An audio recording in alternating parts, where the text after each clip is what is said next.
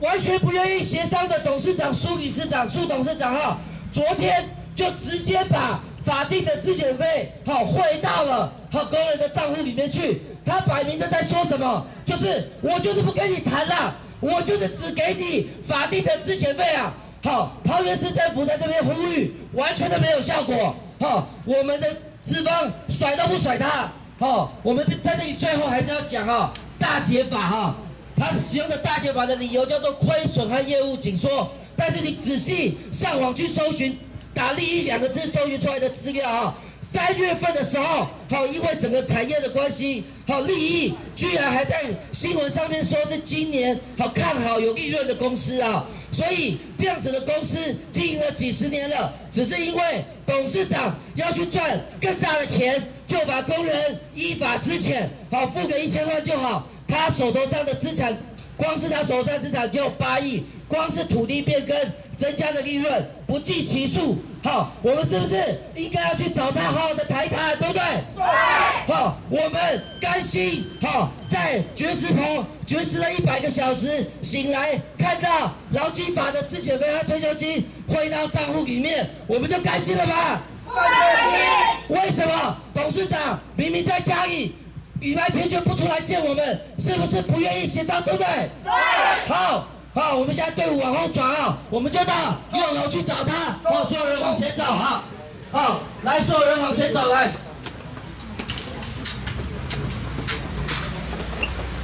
来来来，所有人往前走，来，来，所有人往前走，来。麦西，啊，有人坐电梯，男生走，你走。好，赶快走。你们去找他，我们去找他，我们回来协商。回来，别光找老板哦。关起来。六楼是这里。这里。这里。关先把门关起来。他早上有上班。早上上班是不是？我说是不是有？我不知道，里。面亮着。对啊。因为我们通上去，守卫会通报，铁门关起来。没关系，我们这边做。来，要把铁门关起来。了。要，把铁门关起来。里。面还有人啊？应该是，应该是守卫通报，他铁门。没关系，没关系。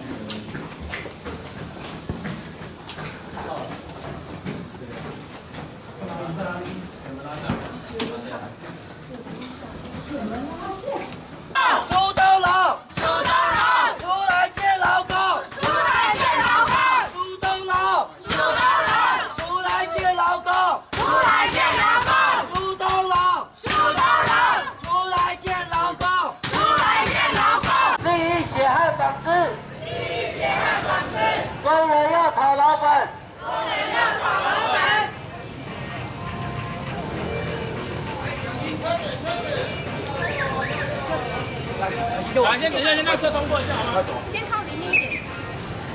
不想说，哦，只要给劳基法的资遣费、退休金，他只能做呼吁的事情。我们接不接受？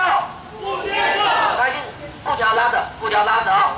我们今天就是要去找劳动部长林美珠啊，他可能不太懂法律，啊，我们就来问问他，好，啊，我们就来问问他说，哎，依法的劳基资遣费和退休金啊，是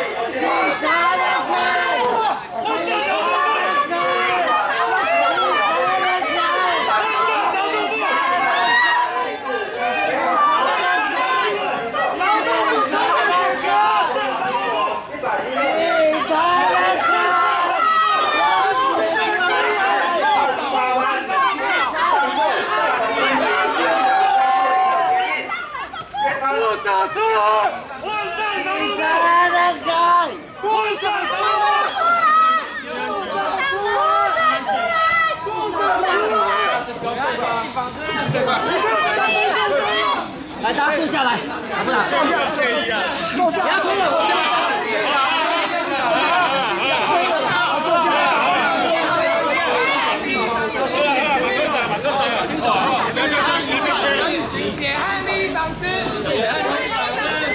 好，来，陈队，陈队。请大家保持理性，请大家保持理性。